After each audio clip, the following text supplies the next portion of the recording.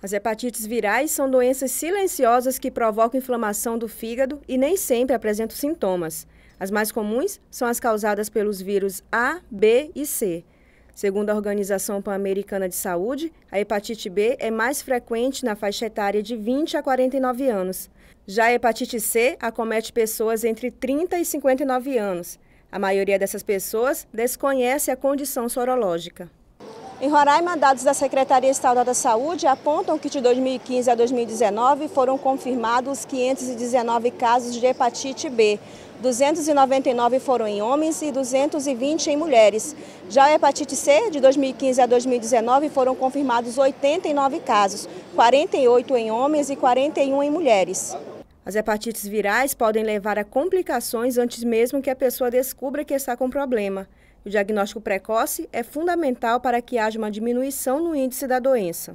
Por isso a importância hoje do acompanhamento médico, de exames de testagem. Hoje nós temos testes de hepatite de maneira muito segura e rápida, disponibilizado na rede pública.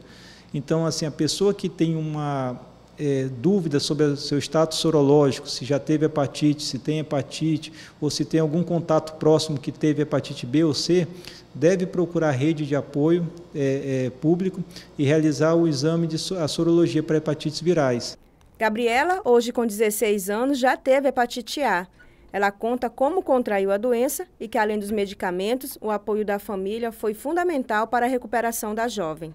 A gente ficou sabendo depois de um tempo, né, que teve muitos relatos de hepatite lá onde eu morava e eles, tipo, foram averiguar a situação e ficaram sabendo que, tipo, lá num banho onde todo mundo ia, é, ocorreram muitos casos das pessoas que foram lá. Aí ninguém sabe tipo ao certo, mas as pessoas, tipo a minha família principalmente, crê que é, foi de lá. Eu tive que tomar é, medicamento para dor, para febre e o protetor do fígado.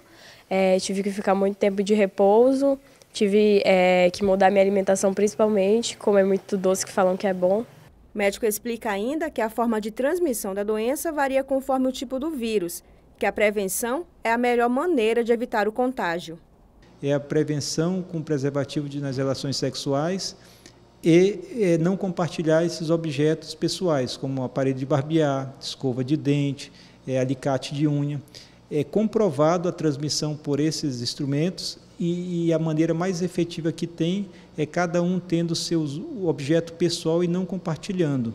Testes rápidos para detectar as doenças, vacinação e o tratamento do vírus são disponibilizadas nas unidades de saúde.